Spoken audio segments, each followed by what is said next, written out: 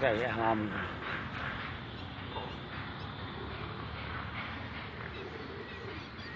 mở quái lên thì rất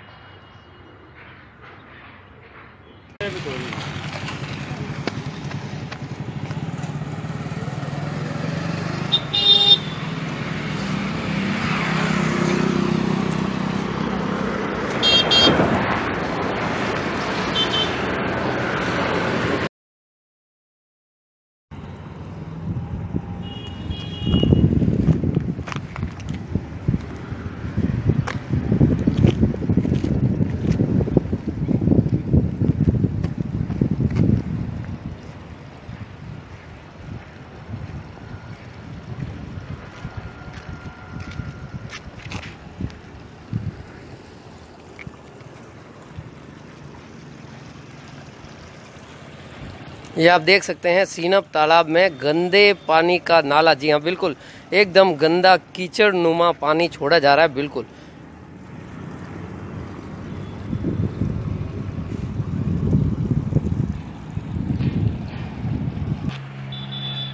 आपको याद दिला दूँ कि सीनप तालाब पर सौंदर्यकरण को लेकर लाखों करोड़ों रुपए का बजट यहाँ पर नगर पालिका प्रशासन द्वारा खर्च किया जा चुका था, लेकिन जिस प्रकार से गंदा नाला यहाँ छोड़ा जा रहा है, तालाब की परिभाषा ही बदल कर रख दी है नगर पालिका ने। इस तालाब में जो पशु पक्षी, जो पक्षी हैं, और आप देख सकते हैं बिल्कुल जिस प्रकार से ये पक्षी यहाँ पर अपना डेरा जमाए बैठे हैं। ये देखिए पक्षी जिस प्रकार से उड़ रहे हैं, इसका मतलब आप समझिए कि यहाँ पर कितने पक्षियों का आश्रय स्थल बन चुका है ये। सीनप तालाब लेकिन यहाँ पर जिस प्रकार से गंदगी का माहौल पनप रहा है, जिस प्रकार से गंदे नाले का पानी यहाँ पर छोड़ा जा रहा है, उसको लेकर इस सीनप तालाब में जो जीव जंतु छोड़े गए उनके ऊपर भी, उनके जीवन पर भी खतरा मंडराता साफ़ नज़र आ रहा है।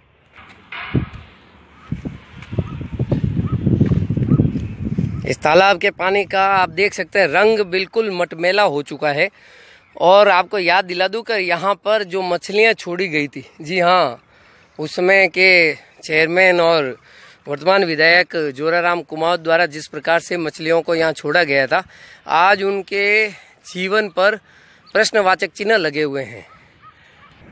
ये देख सकते हैं, इस गंदे पानी के जल के सेवन से देखिए कितनी बड़ी बड़ी मछलियाँ यहाँ पर इस सीनप तालाब में हैं और ये मर चुकी हैं। जी हाँ अपने जीवन से लड़ते, झगड़ते बिल्कुल कह सकते हैं कि एक तरह से मरणासन पोजीशन में जा चुकी हैं। और स्थानीय प्रशासन को यहाँ पर सोचने के लिए मजबूर होना पड़ेगा।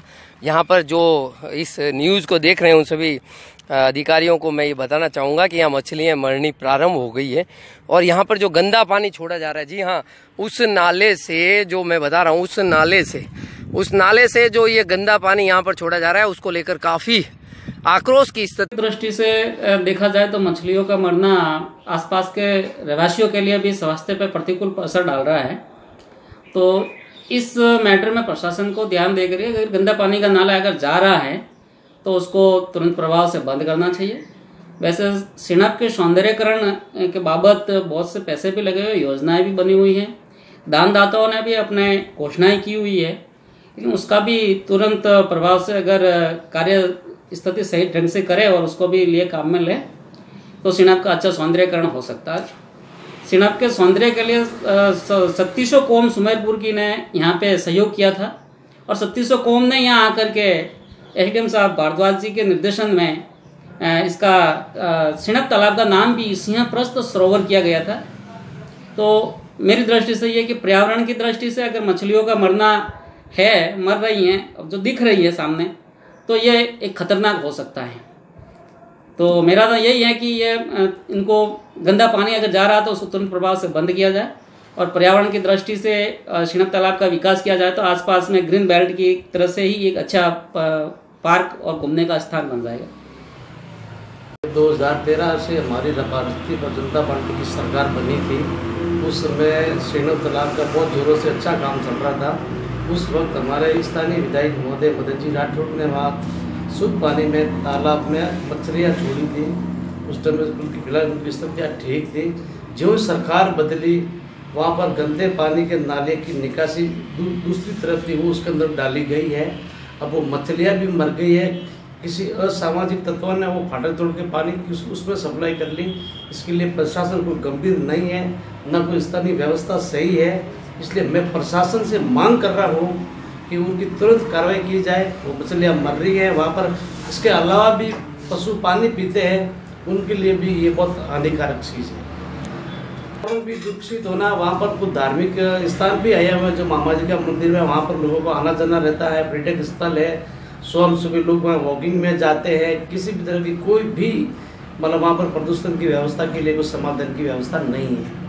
इसलिए मैं प्रशासन से मांग करता हूँ कि उसकी तुरंत प्रभाव से उसकी व्यवस्था सुधारे और स्थानीय प्रशासन को भी, क्योंकि वहाँ पर शराबियों का भी तत्व, कुछ आतंक ज़्यादा बढ़ा हुआ है। कई बार हमने प्रशासन को शिकायत भी की, मगर प्रशासन अभी तक उसकी कोई कार्रवाई नहीं की।